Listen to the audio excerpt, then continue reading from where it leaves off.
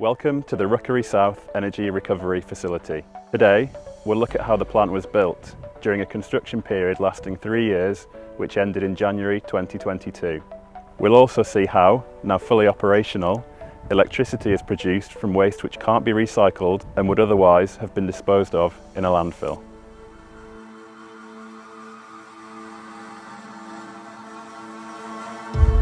Hitachi Zosen Inova, or HZI, are the main engineering, procurement and construction, or EPC, contractor.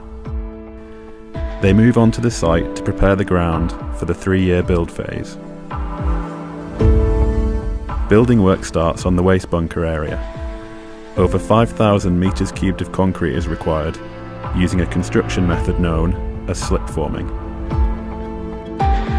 The bunker is built over a six week period. The work takes place 24 hours per day, 7 days per week. Once built, the bunker is almost 30 metres tall.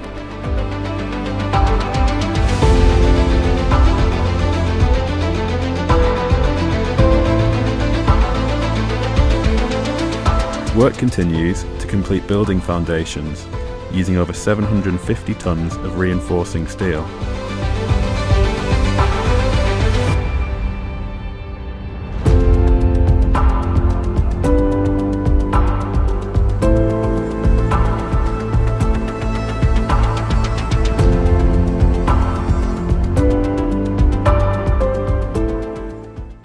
Tower cranes and over 10 mobile cranes were required during the construction phase to install over 6,000 tonnes of building and process steelwork. In March 2020, the COVID 19 pandemic required the introduction of strict protocols to protect the hundreds of people working at the site. Over the same period in 2020, several large components were delivered, including the silos for the flue gas treatment system.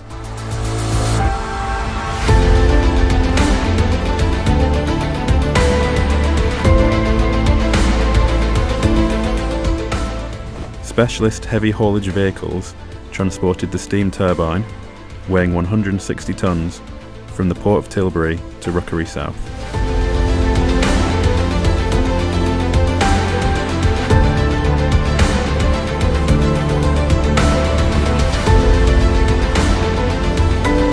The turbine was carefully lifted into position using specialist cranes.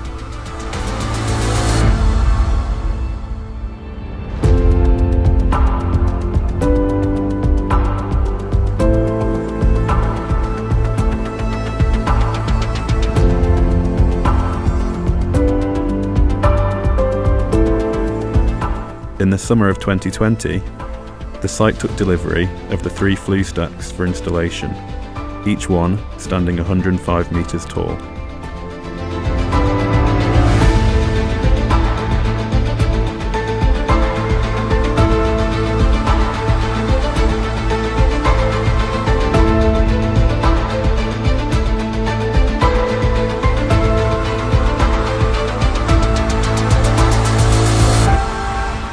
The process equipment now installed and connected by over 10 miles of pipework and 150 miles of electrical cabling, the site is becoming ready for the all-important commissioning phase. During commissioning, every component is fully tested for operational readiness by a team of specialist engineers.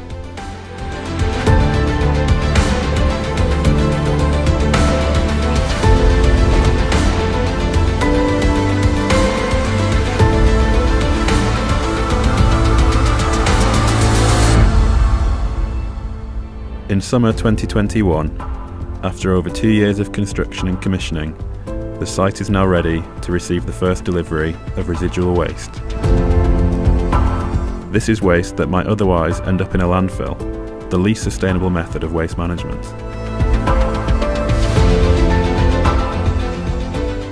Hello and welcome to the control room here at Rookery South Energy Recovery Facility. My name's Paddy Kelly, I'm the facility manager here and I'm going to give you a quick overview of what we do in the control room. The control room's behind me, let's go and have a walk around. So here we are in the heart of the control room. Through here you can see the waste bunker where we've got the cranes responsible for mixing the waste and then feeding it into the furnace feed chutes over on the left. If you look over here, you can actually see inside the furnace on those screens there, uh, showing we've got a good healthy burn. Over here, we've got the operating station where the plant operator is making sure that the three boilers uh, are, are behaving themselves, that the steam turbine's in service, uh, and that the flue gas treatment centre is operating correctly. Just ensuring that we've got safe, stable, continuous operation of this facility completely in line with all the facility consent. The waste bunker can hold up to 9,000 tonnes of non-recyclable waste ready for treatment.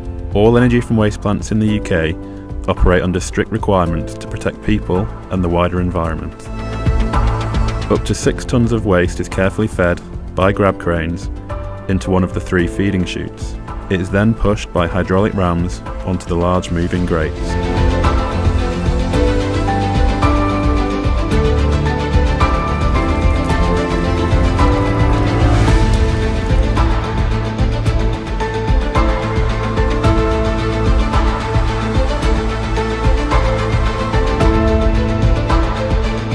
Large sections of the plant are dedicated to cleaning the flue gases which are released from the waste treatment process. The bottom ash is collected and sent for onward reprocessing into an aggregate which can be used in the construction industry.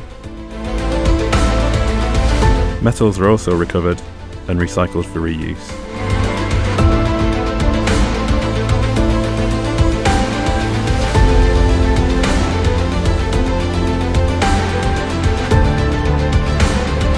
The Rookery South facility is a sustainable alternative to landfill, using non-recyclable household and business waste as fuel to generate electricity.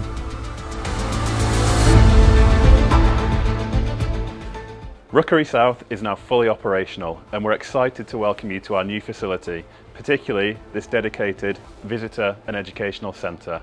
Here you can find out more about the plant and how we use science to safely manage residual waste within the circular economy.